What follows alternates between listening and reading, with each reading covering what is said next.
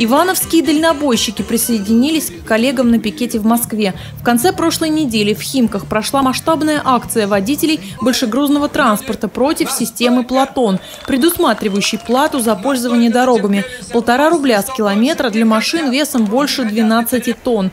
Дальнобойщики заняли четыре полосы на внешней стороне МКАД, избавили скорость, создав пробку. Одновременно с этим состоялся митинг протеста. На нем выступили и ивановские водители. Платон они считают разорительным проектом, ставящим под угрозу существование малого и среднего бизнеса. Также на пикете шла речь о политическом подтексте закона. Недовольные водители требовали отставки федерального правительства и грозили организацией общероссийской стачки. Дальнобойщики на сегодняшний сегодняшний момент осознали, что рабами они быть не хотят.